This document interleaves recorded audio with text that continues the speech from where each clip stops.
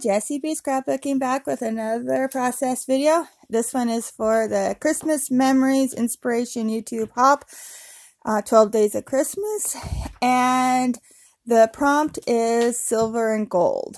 So I'm starting off with this um, kind of a gold background um, cardstock and then I'm going to put this sheet music paper right over top of it. And I got this idea from a card I seen on Pinterest. And uh, it turned out really cute.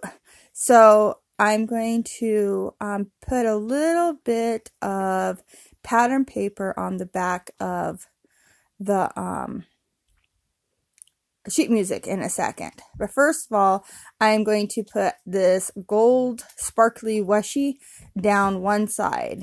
And it's not quite wide enough, so I am going to use um, two strips of it. And this washi does not like to stick and stay, so I'm putting HEG down first to help it um, stay stuck down. So just run the HEG across the little spot where you want it.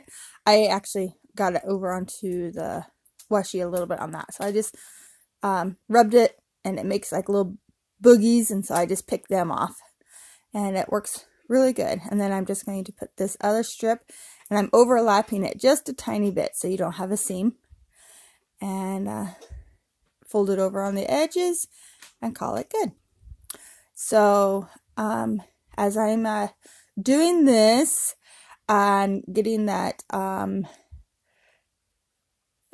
pattern paper on the back of this sheet music, I'm going to remind everyone this is a hop. Make sure you go down and check um, everyone else that is uh, participating in this hop. Um, we got some amazing um, people playing along and um, yeah, just if you want some really good inspiration on Christmas uh, layouts, yeah, check everyone out. Okay, so here's where I am putting the pattern paper, and it is that white paper with uh, silver um, snowflakes on it. And so that's bringing in my silver and gold for the prompt. And I end up coming back in a little bit later and adding some gold washi underneath where I flip over these um, paper, this fold over the paper because um, it looks like it blends in a little bit too much with that um, uh, pattern paper on the front. Uh, okay, so I fold the papers back. I'm liking how that's looking.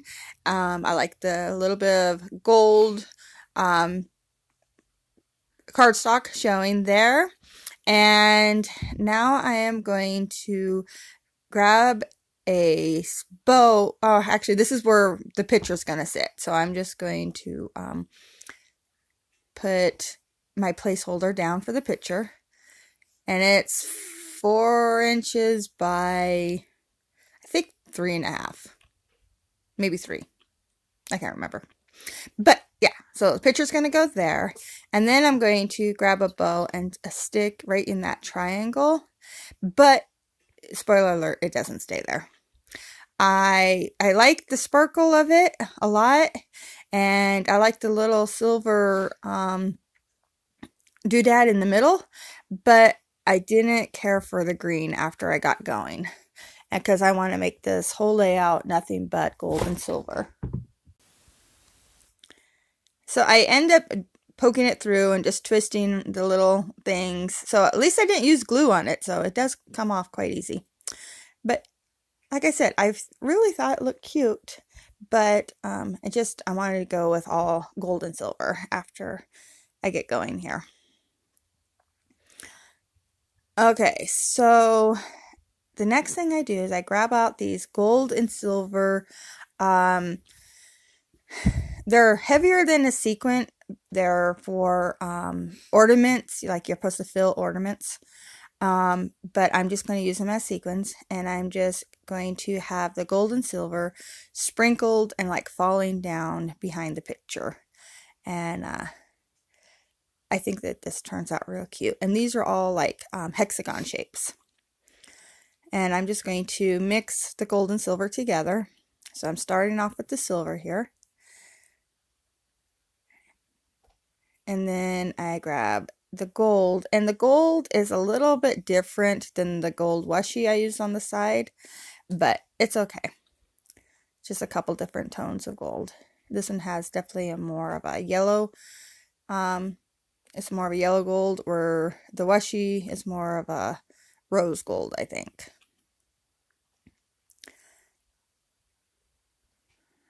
So, there we go. Get all that done. And I'm liking how that's looking. I really, really like the um, music um, paper in the background. I think that really looks cute.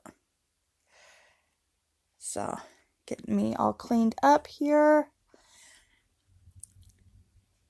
And then this is where I think I'm going to decide that I don't want that um, green bow. So I'm going to take it off.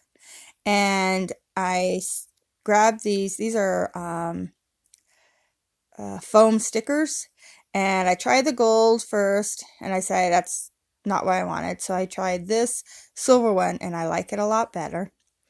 And I'm going to put it down. And but I'm not going to stick it completely down onto the black and I'll actually stick a piece of um, sticker sheet underneath of it to keep it from sticking down to the black.